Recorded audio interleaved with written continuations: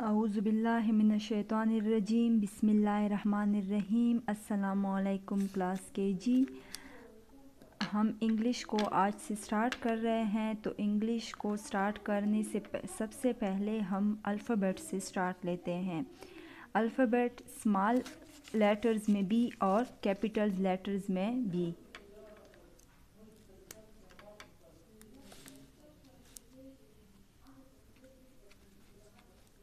सबसे पहले हम डेट डालते हैं, आज की डेट है सेवनटीन सिक्स मंथ है और टू थाउज़ेंड ट्वेंटी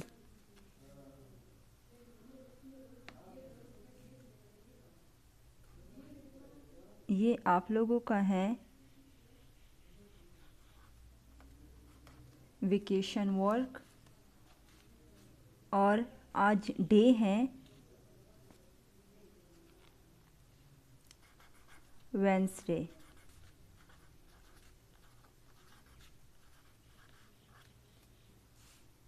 अच्छा इस साइड पे आप लोगों ने, इस साइड से खुद मार्जिन लाइन ड्रा है और दूसरे साइड से मार्जिन लाइन आप लोगों ने खुद ड्रा करना है, ठीक है? तो पहले, सबसे पहले हम यहाँ पे टॉपिक लिखेंगे। Topic alphabets.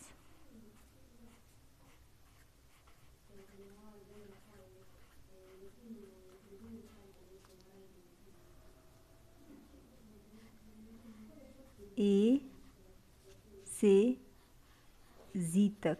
ए टू जी ठीक है? अब हम स्टार्ट करते हैं. पहले हम कैपिटल लिखते हैं, उसके बाद हम स्मॉल लेटर्स लिखेंगे. ए लिखते हैं, ए को आप लोगों दे के यहाँ से आप लोगों ने ऐसे ए लिखना है। ठीक है?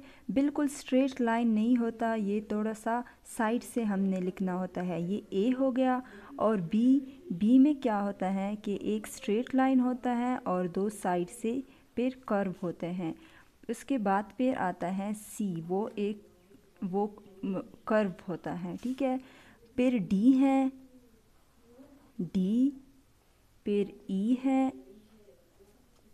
D E F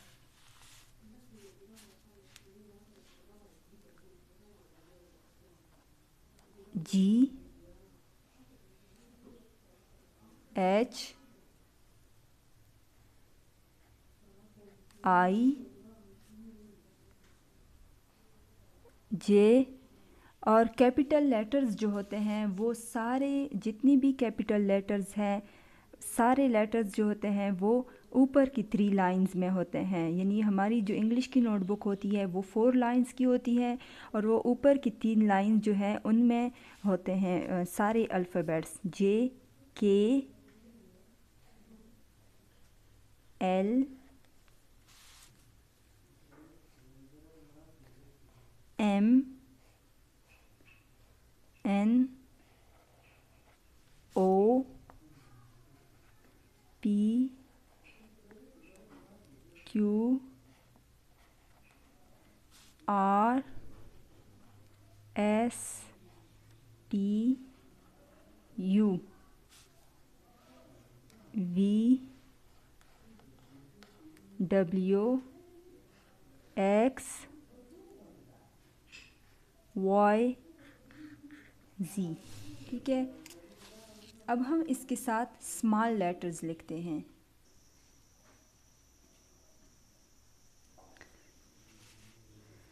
ए जो स्मॉल ए हैं, वो दरमियान के दो लाइन जो हैं, उसमें हम लिखेंगे ए और बी जो है, वो एक स्ट्रेट लाइन होता है और फिर उसके बाद दरमियान के लाइन में हम उसके लिए कर्व बनाते हैं बी फिर सी कैपिटल की तरह है, लेकिन स्मॉल सी जो है, वो सेंटर के दो लाइन जो है, उसमें हम लिखेंगे सी फिर है डी ई बी दरमियान के दो लाइन में है एफ़ जो है, वो ऊपर की थ्री लाइन में है एफ़ जी जो है, वो नीचे की थ्री लाइन में है जी एच ऊपर की थ्री लाइन में है आई जो है, वो सेंटर के टू लाइन में है। फिर जे है, जे नीचे की थ्री लाइन में, जे के एल एल ऊपर की थ्री लाइन में, के भी ऊपर की थ्री लाइन में है।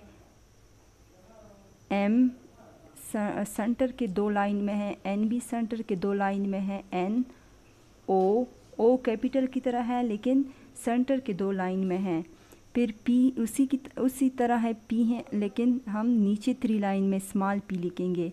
फिर आता है क्यू वो भी नीचे की थ्री लाइन में है। आर सेंटर की टू लाइन में है आर फिर है एस टी ऊपर की थ्री लाइन में यू अब कैपिटल यू जो है, उसके लिए टेल हम नहीं बनाते, और स्मॉल यू जो है, उसके लिए छोटा सा टेल बनाते हैं। यू फिर वी सेम उसी तरह है, लेकिन स्मॉल वी जो है वो सेंटर के दो लाइन में है। डब्ल्यू बी बीच के दो लाइन में है एक्स बी है, और वाई जो है वो नीचे थ्री लाइन में है। जी जो है वो सेंटर की टू लाइन में है। तो ये हो गए अल्फ़ाबेट्स